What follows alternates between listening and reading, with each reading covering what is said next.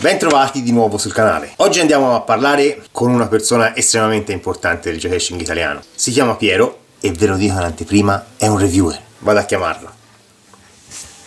Buongiorno Piero, come stai? Oggi abbiamo un grande, un grande ospite, non solo giocatore ma anche reviewer. Questo, questo per me è una, una, cosa importantissima e sono molto felice e ti ringrazio dell'invito che hai accettato. Eh no, sono contento anch'io di fare una chiacchierata. Senti, partono le domande. Ho studiato. Allora, qual è il tuo nickname? Il Tosco da giocatore e Brigante Tiburzi da review. E qui c'è l'inchino di reverenza. Senti, di zona sei? Allora, io sono, diciamo, pare in mano, però abito in provincia di Latina, a Norma, che è un paese di 4.000 abitanti sui Monti Lepini. E da quanto tempo, da quanto tempo è che fai geocaching? Allora, io ho cominciato in, nella primavera del 2006. Direi, direi veramente tanti. Il reviewer? Reviewer a giugno, Questa è una domanda retorica. Giugno sono 5 anni che pubblico.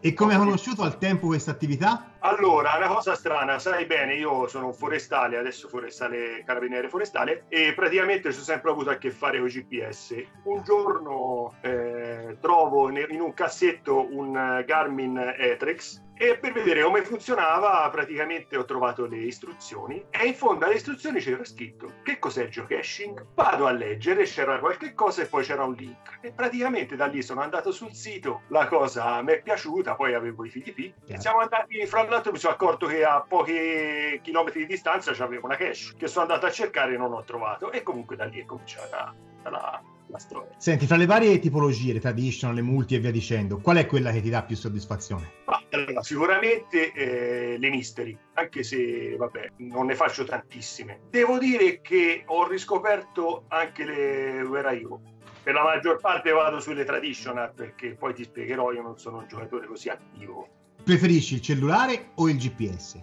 Adesso uso il GPS e scusa il cellulare perché praticamente quando mi capita ho un po' di tempo, mi trovo in un posto, mi metto lì e con l'applicazione cerco una cache da cercare intorno e la faccio. Ho cominciato col GPS, sicuramente almeno per nascondere io la trovo la cosa forse più ideale perché per quanto sia è sempre un pochino più preciso, però attualmente uso il cellulare. Perché è più diretto, dati a portata di mano immediati. Ok. Sì, sì, sì. Eh, un aneddoto, un ricordo bello riguardante il tuo geocaching? Ma guarda, sembrerà strano, però eh, io ricordo molto volentieri il, uh, l'event che ho fatto da te a, a Fontana. Perché è stata un'esperienza simpatica e anche perché poi praticamente da là io mi sono rivelato come reviewer perché prima ero nascosto. E a me ha fatto molto molto piacere, un onore averti, averti lì e insomma in, incentrare l'event su quella cosa è stato molto divertente. Sei un geocacher super attrezzato o GPS barra cellulare, penna e via? Guarda, barra cellulare spesso nemmeno la penna perché se ce l'ha mia moglie me la rimedia alle se no sono messo proprio male. e di solito prediligi la solitaria o le uscite di gruppo? Ma guarda, purtroppo nella zona mia, cioè se vai a Roma eh, c'è una bella comunità di geocacher. Dove abito io sono praticamente solo. Ho fatto in compagnia spesso con i miei figli fino a che ovviamente non sono cresciuti e adesso non gli importa niente quindi spesso in solitario oppure se sono accompagnato con mia moglie perché magari sono in giro in una città in un posto allora però fondamentalmente e hai fatto geocaching anche fuori dall'Italia? Sono stato sempre in Europa, ho fatto qualcosa in Grecia, in Spagna, in Francia, in Austria e in Inghilterra, mi pare. Cosa ne pensi degli FTF? Ovvero, sei uno di quelli che se arriva la notifica alle 3 la notte si veste figli e parte o sei più blando? Se mi capita di farlo, lo faccio, ma non è che non, non ci tengo in modo particolare. Vai alla rincorsa, ok. No, assolutamente. Forse lo sai, c'è qualche anno fa, ma era più una sfida con gli altri giocatori della zona, capito? Esatto. Ma tu non, cioè, io non ci tengo in modo particolare, non guardo le statistiche, non... anche perché se vai a vedere le statistiche mie, io ho meno di 300 cash trovati, capito? Io lo faccio veramente, ci penso tutti i giorni, però eh sì, non è... Volenti o nolenti. Eh, esatto. per far divertire noi e questo è una cosa che volevo dire anche a Stefano poi mi sono dimenticato coglierà da questo video eventualmente se lo vedrà. Tutta la comunità ovviamente vi ringrazia per il fatto di, di, di, di farci divertire assolutamente a gratis assolutamente per la pura passione che avete anche voi per questo gioco. Questo questo va a vostro favore, insomma, un gran punto a vostro favore, eh, sia te, sia Stefano, sia Giulia Tofana, che um, magari un giorno si rivelerà, chi lo sa. E dei souvenir cosa ne pensi invece?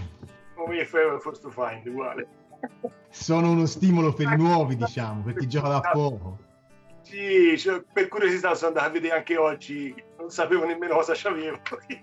Senti, hai delle hash nascoste? Sì, adesso una decina, non di più, perché mi sono ristretto un po' la zona. Prima io come considera che ho cominciato a nascondere qualcosa a Roma. Quando ho cominciato io a Roma c'erano soprattutto cash di stranieri. E poi c'era eh, Vericol che nascondeva qualcosa perché lui lavorava, è di Firenze ma lavorava a Roma. Praticamente all'inizio mi sono allungato, ho anche fatto, aperto delle zone di Roma nuove, tipo l'Appia Antica. Poi chiaramente piano piano mi sono ristretto, adesso poi non ho tutto sto tempo per stargli dietro e quindi fondamentalmente ce l'ho intorno casa. Ce n'ho un paio di quelle un po' più storiche, sempre comunque in provincia di Latina, e ce n'ho ancora una a Roma, circa una decina.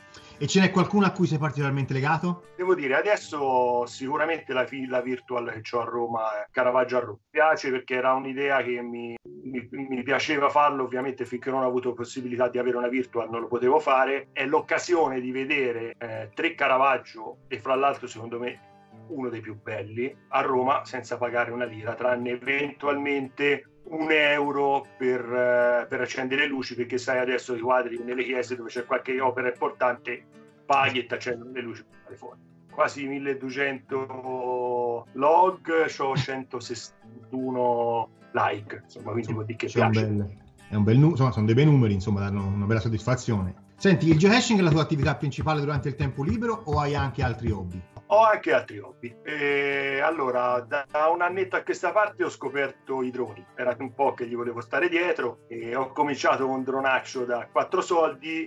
L'altro ieri mi sono comprato un drone molto superiore e mi diverto, faccio un po' di video, un po' di foto. Ma senti, e se non sbaglio anche il football americano? il football americano sì, lo seguo perché mi piace, ho giocato, ho mio figlio che gioca, mio nipote che gioca, siamo esatto. una famiglia di, fu- di footballari. Una, mi piacerebbe una visione di quello che per te è il geocaching e quel, probabilmente anche quella che ti ha fatto diventare reviewer, insomma, per, per, per una visione ah, del tuo geocaching. Per me geocaching fondamentalmente è una, un turismo alternativo. Eh, io lo vedo sotto questo aspetto qua e ti spiego il perché. Perché almeno questa è la filosofia di quando io ho nascosto. Poi magari ho fatto anche delle cache, però fondamentalmente eh, a me piace che eh, la gente vada a cercare la mia cache ma che riesca a fargli scoprire un posto, un'emozione particolare legata a quella cosa lì. Quindi per me questo è fondamentale.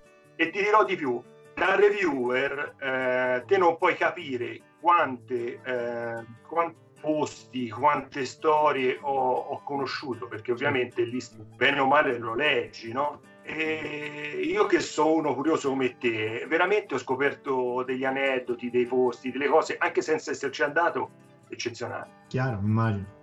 Bello, molto bello. E niente, io per il momento ti ringrazio, ti, soprattutto per, ehm, per, aver accettato l'invito a fare questa chiacchierata con noi e spero di vederti presto. Eh, speriamo, quando si apre un, un qualcosa, se magari quando riusciamo a fare... le gabbie. Eh, quando riaprono le gabbie. Bene Piero, grazie mille, ciao. Niente, ciao. E così abbiamo salutato anche Piero, Brigante Tiburzi o il Tosco un legame particolare visto che, come ha detto, si è rivelato al mondo a un event che creai qui in eh, Maremma nel 2016, tra la via Aurelia e il West. Detto questo, vi aspetto sul canale, iscrivetevi, lasciate un commento e cliccate sulla campanellina per avere le notifiche dei nuovi video. E con questo vi saluto. Ciao!